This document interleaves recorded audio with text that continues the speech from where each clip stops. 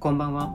神谷の本棚へようこそ。管理人の神谷と申します。よろしくお願いします。というわけで、えー、本日はですね、最近読んだ本をご紹介したいなと思うんですけれども、えー、早速本日紹介する本が、えー、こちらですね。えー、怪盗フラヌーの巡回という、えー、西尾維新さんの作品になります。西尾維新っていう名前は多分聞いたことがない人ってそんなにいないかと思うんですけれども、まあ有名な作品ですと、えー、化け物語をはじめとした、えー、物語シリーズだったりとか、えー、刀語り、あとは、えー、ザレ言シリーズとかね、いろいろなシリーズを展開されている、えー、作家さんで、えー、今回はですね、西尾維新の、まあ、作家デビュー、20周年記念ということで、最新のえシリーズを、え始められたということでですね楽しみにしていた一冊だったんですけれども、え本日はこちらをご紹介したいなと思います。でこちらがですね、まあ、やっぱり20周年記念ということで、まあ、すごく力が入ってるなというふうに感じた作品でもありまして、まあ、もうねかなり いろんなシリーズを続けられてきた中で、まあ、ここに来て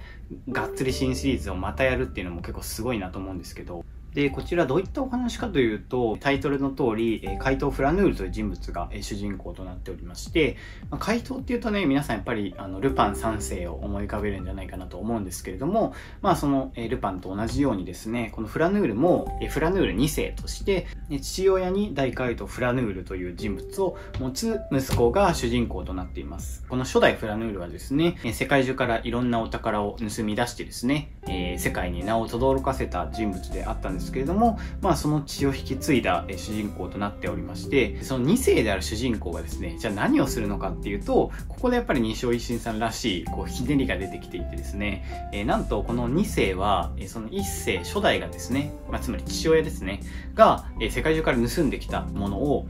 その元あった場所に返していくっていう、えー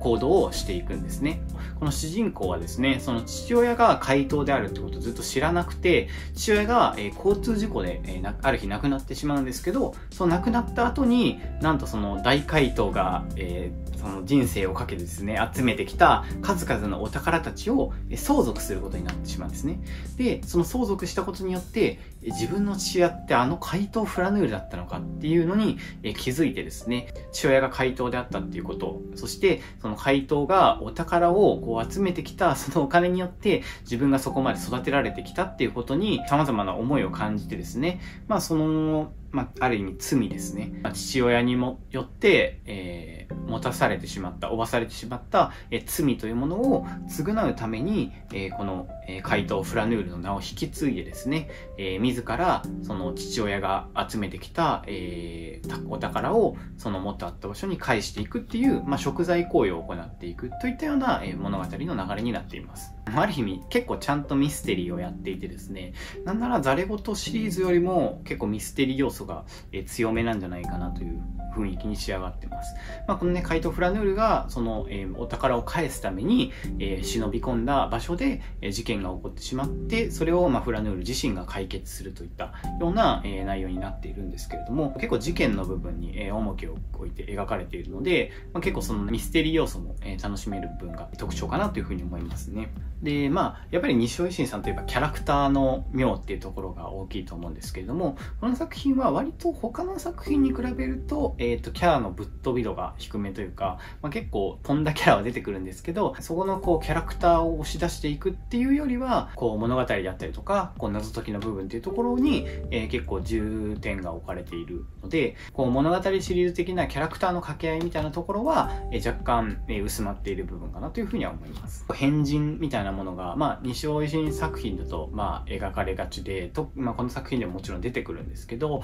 割とその辺もですね、こう、本当にぶっ飛んだ人っていうよりは、結構、なんか地に落ちついた中で、こう、突出した部分が変っていうようなキャラクターの描き方になっているので、なんかそこも、こう、まあ、入り込みやすいというか、読みやすい部分もあってですね、その西尾維新作品の良さっていうところは残しつつも、結構万人が楽しんでいただきやすい作風になっているのかなというふうに感じました。まあ、いろいろな登場人物が出てくる中で、まあ、その関係性っていうところを描いていくのがすごく上手でですね、怪盗フラヌール、初代フラヌールですね、が、まあ、大怪盗としてですね、えー、存在している中で、まあ、主人公はその,、まあ、その息子として、まあ、いろんな思いを抱えながらまた怪盗を行っていくわけですけど、まあ、それ以外にもですね例えば、えー、フラヌルとずっとこう刑事として、えー、叩き戦い続けてきて、まあ、思い入れのある人間が出てきたりだとか、まあ、フラヌールが何かを盗んだことによってこう救われた人間だったり逆に、えー、フラヌールに盗まれたことによって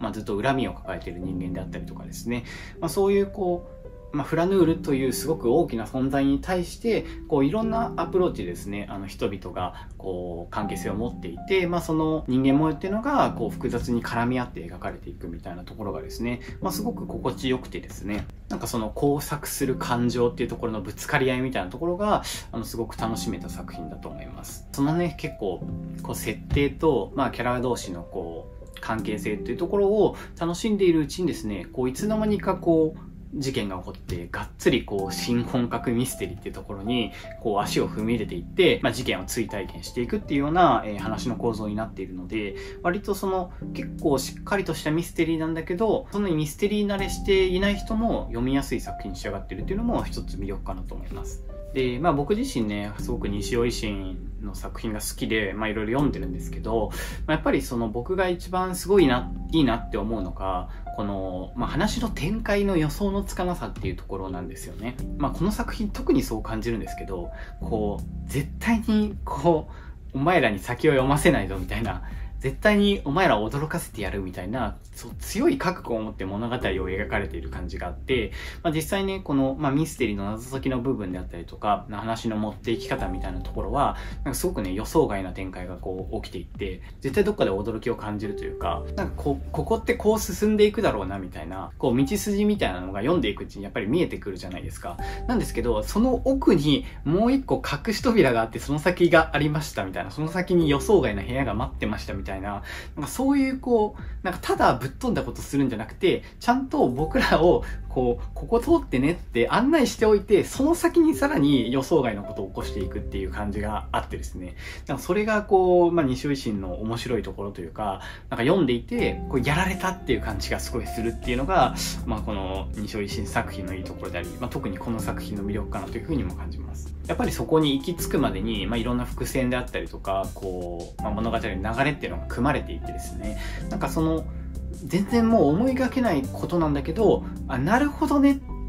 そういうことだったのかっていうこう納得感はすごくあってですね、ただぶっ飛んだことをやるだけじゃないっていうのが読んでいて気持ちいいというか、まあ、そういう風に感じる部分かなという風に思います。あとはね、やっぱり西尾維新といえば、えー、キャラクターっていうところだと思うんですけど、あの今回もですね、あのとにかくこうキャラクターのネーミングセンスと、まあ、えー、口癖っていうのがねもうとんでもなくやっぱいいんですよね。なんかこう一発で覚えられる名前だしなんかギリギリ名前として成立するラインっていうのを狙うのがかすごくうまいなと思っていてえー、例えば、まあ、このね、えー、作品に出てくる名探偵として描かれるキャラとして、えー、うるさわ虎はるかっていう えー、まあちょっと漢字出しておきますけど、えー、こういうキャラクターであったりとか、えー、あとは、えー、トゲ抜き、無理数、ゆり数っていう こう、有理数、無理数って書いて、えー、ゆり数、無理数と読むんですけど、まあ、これとかですね、なんかすごい、こう 絶妙じゃないですか。なんか、絶対ありえない名前なんだけど、なんかギリギリ名前としてあってもいいかなみたいな、なんかすごいそのラインをつくのがうまいなというふうに思って、なんか毎回感心してしまうのと、まあ、あとね、えー、っと、すごくキャラクターの口癖を作るのもうまくてですね、まあ今回のこの作品出てくるところで言うと、えー、こんなこと言っていいのかわかりませんが、何々ですね、みたいなのを、えー、対応するキャラクターが出てきたりとか、えー、何々すぎるほど何々だ、みたいな感じで、やたら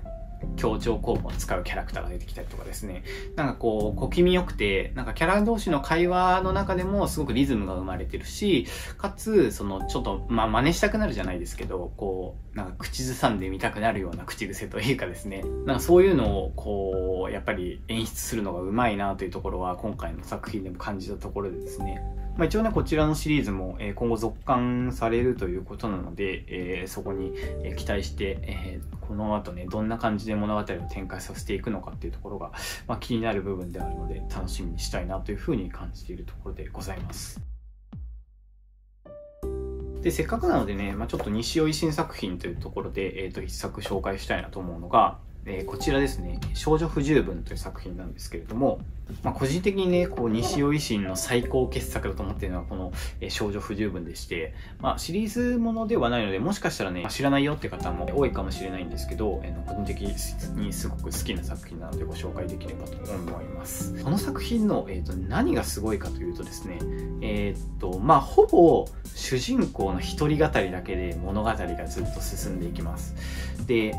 あのそれこそ西尾維新のイメージってやっぱりキャラクターとかこう会話っていうところが、まあ、すごく、まあ、重きを置かれている部分でやっぱり楽しめる部分だと思うんですけどあえてやっぱりそこが、えー、ほとんどない、えー、もう本当にただただ一人で主人公が語っていくだけっていうところが、まあ、まず逆転的というかであのまあその主人公の一人語りで語られていくその、まあ、物語っていうのが、まあ、すごくなんかリアリティを持って描かれていくんですよね。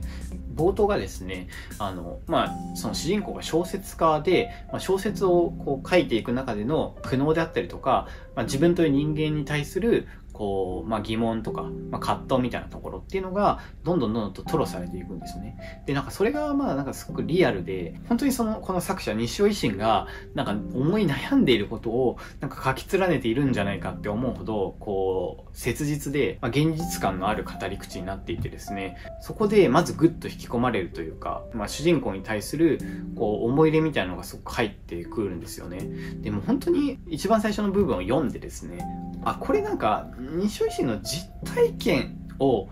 こう元に描かれた作品なのかなって思ったぐらいあのリアリティがあってこう、まあ、実話ベースの物語なのかなってあの錯覚しちゃったんですね。なんかまあちょっとそれもあのお恥ずかしい話なんですけどまずなんかそれぐらいリアリティがあって、まあ、そこから実際に、えっと、物語の方に入っていくんですけどあのあらすじとしてはですねあのこのまあ表紙に描かれている小学生の女の子がいるんですけれどもこの女の子にですね、えっと、主人公が誘拐されてしまうんですね。で、えっと、主人公がその女の子のに閉じ込められて、まあ、ペットのようにですね、えっ、と、飼われ、監禁されるという、まあ逆監禁ものと言ったらいいのかわからないんですけど、まあそういう結構ぶっ飛んだ、作品になってまして、まあその中でですね、えー、っと、まあそもそもなんで主人公はこの女の子に誘拐されてしまったのかとか、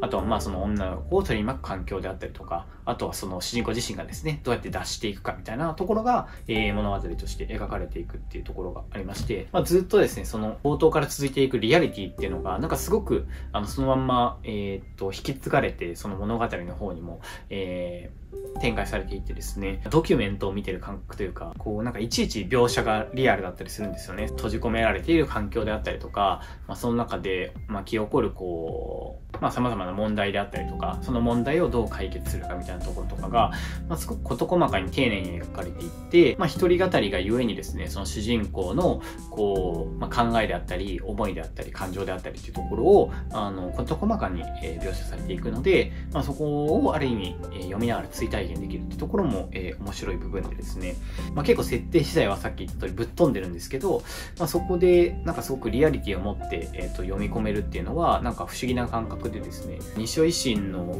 こう自力というかこういう作品が描けるからこそこうキャラクターを、前面に押し出した作品を、描いた時になんかしっかりと面白く描くことができるんだなっていうのをあのひしひしと感じた作品だったので、あの個人的にね、すごくあの印象深い作品だったので、今回ご紹介させていただきました。あのね、で、このあのカバー裏に書かれているあらすじもすごいかっこよくてですね、えー、悪いがこの本にあらすじなんてない。これは小説ではないからだ。だから起承転結やサプライズ、気の利いたオチを求められても、きっとその期待には応えられない。これは昔の話であり、過去の話であり、終わった話だ。記憶もあやふやな10年前の話であり、どんな未来にもつながっていない。いずれにしても娯楽としてお勧めはできないわけだが、ただしそれでも一つだけ言えることがある。僕はこの本を書くのに10年かかったっていう これをあらすじとして書くっていうね。あの、まあ、こう、こういう書き方をしてるのもあって、僕は結構その実話ベースなのかなっていう錯覚もしてしまったりしたんですけど、まあ、まんまとやられてるわけですけど、まあ、それぐらいになんかこう、力強い作品で、あの、印象深い作品なので、ぜひね、あの、読んでない方は一度読んでみていただきたいなというふうに思います。えー、そんな感じで本日はですね、えっ、ー、と、西尾維新の新刊のカイト・フラヌルの巡回という作品を、え、ご紹介させていただきましたが、いかがだったでしょうか？あのね、まあ、結構二所維新って名前は聞いたことあるけど、意外と読んだことないなとか、あの、アニメ見てたけどとか、まあそういう方もいらっしゃるかと思うんですけれども、あのね、結構ね、あの、文章で読むとまた違った味わいがあったりする、えー、作品も多いのでですね、ぜひ、あの、読んでいただきたいなというふうに思います。でね、まあちょっとちらっと言った通り、意外とちゃんとミステリーしてる作品とかも多くてですね、あの、そういった意味で、なんか、どうせキャラ小説でしょとか、なんかそういう風にもし思ってる方がいたら、あのそうじゃないんだよっていう、結構物語が、やっぱりがっつり面白いんだよっていうところを、ぜひね、一度読んで体験していただきたいなというふうに思います。はい。えー、そんな感じで本日の動画はここまでにしたいと思います。ご視聴ありがとうございました。またどっかでお会いしましょう。さようなら。